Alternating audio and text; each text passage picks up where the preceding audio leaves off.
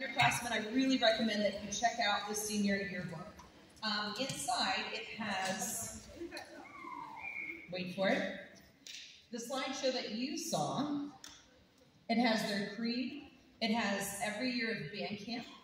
It has memories of every show, every activity that they did. It's based by what year they were in school. It has their senior photos, their senior hats, senior night memories, each of their four homecomings, each of their trips, their concerts, Dallas Brass, Veterans Day in Washington, D.C., Band Around Town.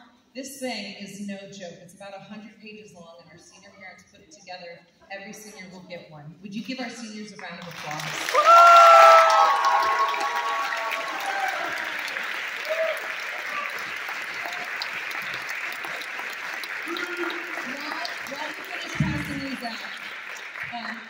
To take a moment to thank the senior parents for their time, for their money, for their carpooling, for their support. So can I get all the senior parents to stand up, please, and let your kids say thank you?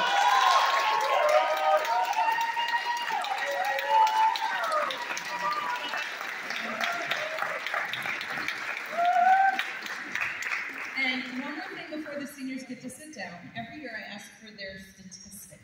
Um, I pester their guidance counselors right when they least want to do this during AP exam testing. We pull all their transcripts, we pull their SAT scores, and we ask the seniors to self-report about what their intentions are past high school. So 35 seniors, ready? Average GPA, 3.77. Stop. Average.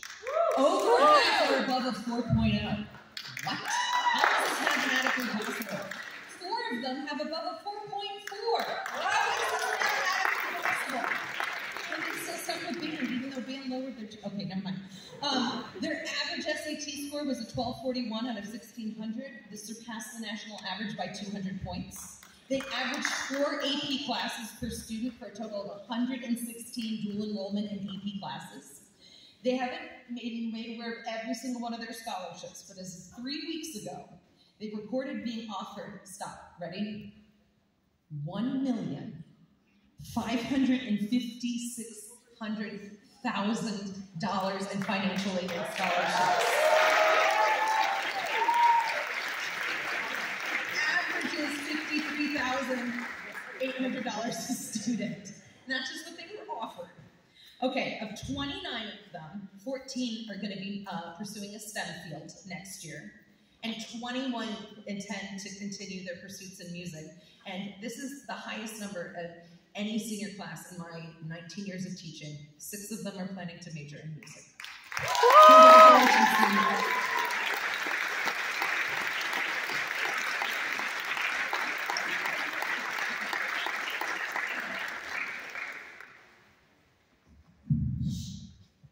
Hey, so um, we would like to take oh, thank you. we'd like to take this opportunity to um, gift Jacoby some very special things um, to show her our love and appreciation for her. So um, we're all gonna like the four of us we're gonna introduce one thing. So first, you get a Sweetwater gift card for you and your family to enjoy at your own expense. Uh, oh, or you get- No, there's a bad. It's okay. Um, the next gift is a label maker, since I've been pestering Mr. Kobe for the past few months to buy one. The next one, I think Color Guard will be very happy about. So um, the gift is a rolling cart for all of your um, indoor Color Guard mats.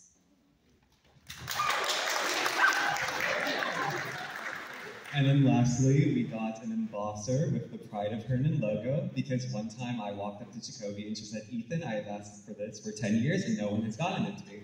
So we got it for you. We love you, Miss Jacoby.